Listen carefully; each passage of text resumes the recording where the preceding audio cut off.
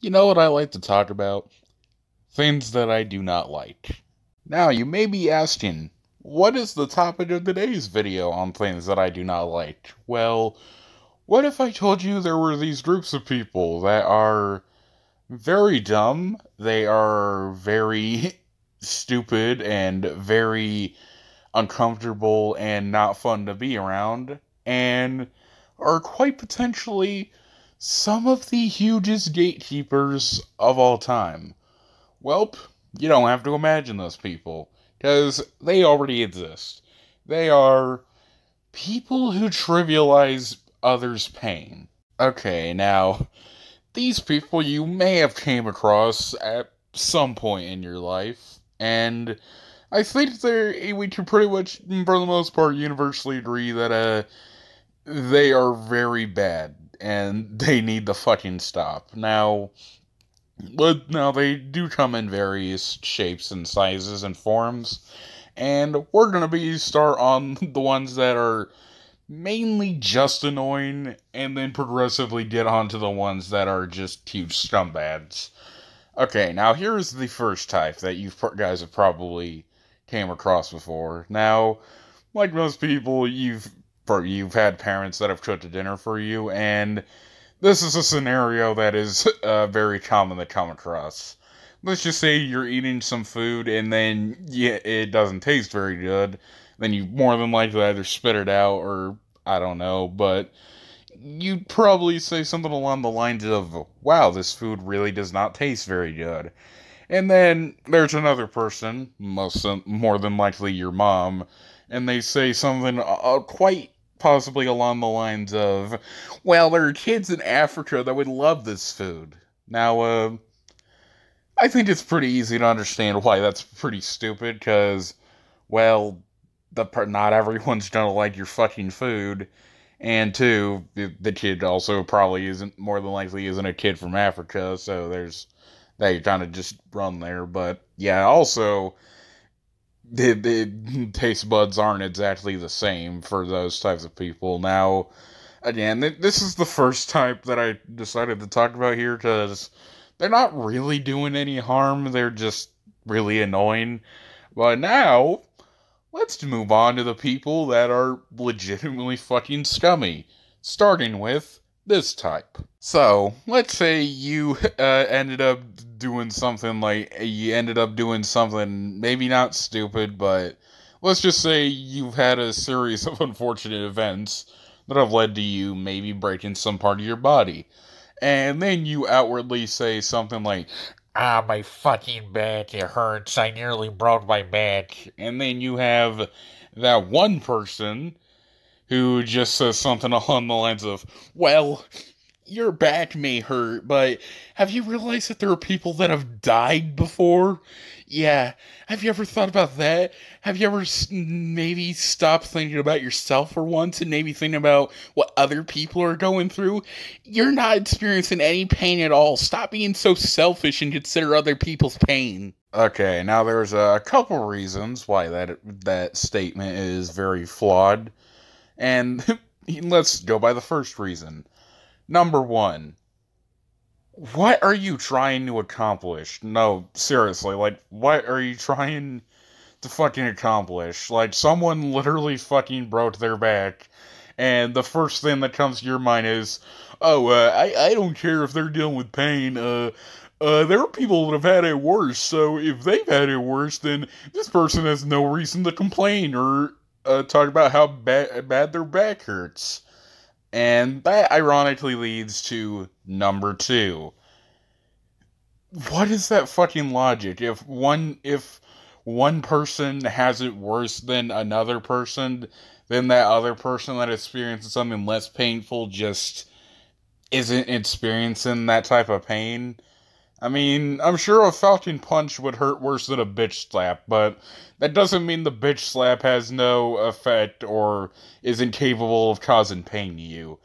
And here's the third reason why that is really bad logic. So let's say you're what you're saying is right. Let's just say that yeah, there are other people that have had it worse than this person that broke their back. Doesn't change the fact that they're still experiencing pain and experiencing breaking a part of a vital part of their body. I cannot fucking stand these types of people because not only are they over trivializing the fuck out of someone's pain, but they're also gatekeeping pain at the same time. Because take a listen, what they're literally saying is, "Oh, you you're going through pain. Well, uh, other people have it worse, so you are incapable of going through pain unless the pain you're going through is on the same level of those people." You know, dumb, really bad logic. And uh, to these people that continuously do this without fail, and just people that do this in general, stop overly trivializing what pain, what people are going through. Yes, there are people that are going through worse right now, but that does not mean that those that the people you're saying that to aren't going through pain. So, how about you? It's ironic that you that you tell these people that they should stop and think about what other people are going through well, how about you maybe take a step back and think about what this person's going through right now and you know, maybe just maybe focus on the fact that they're maybe maybe their back is hurting, you know, a vital, a vital part of their body and is and it's potentially broken.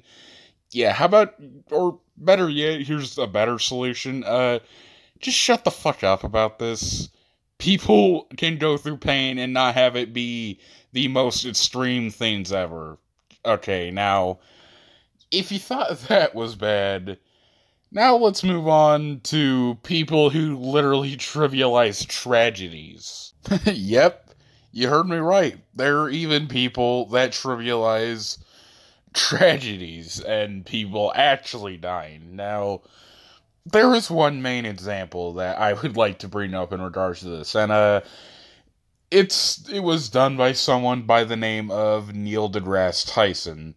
Now, this was a maybe a year or a couple years back, but really doesn't change that what he what he did was really distasteful and just sickening. Just take a look at this tweet. He talks about a school, a recent school, sh- well, a recent at the time school shooting that happened, and then goes on to bring up statistics of other bad tragedies that have happened to people or things that are done that have happened. And then he uh, he caps off the tweet by saying, "You know, our emotions really bring out our the emotions are put forth before statistics." Now, these statistics here he or he's bringing up are not necessarily wrong, but just like that thing I said about with the with the person trivializing someone's back being hurt really doesn't change the fact that uh people lost their lives in a fucking school shooting. Why the fuck do you have to bring this up or why did you feel the need to? And and again, like with that one, yes, there could be potentially worse situations that have happened before the school shooting happened or around the same time. But that doesn't mean that this school shooting is just not as bad. And you know what? Speaking of the school shooting stuff, let's just say, imagine being one of the pe- one of the people's family members, or you know, the kids or the people that ended up dying in the shooting. Imagine being one of their uh, being one of their family members, and then they go on to Twitter and then find this tweet saying, uh, yeah, uh, there, there are people that have had it worse than the kids in the school shooting. So, uh, yeah, you guys really need to stop making a big deal about this. But, yeah, the, the, the, the shit is genuinely irritating and just very fucking distasteful and a really nice way to fucking stand on their graves, Neil. Uh, very, very classy move by you. But, uh, yeah, that's all I really have to say for this video. Uh, Yes, and yeah, like the title says, I do think that people who trivialize pain are waste of human life. So, yeah, that's all I really have to say. See you guys.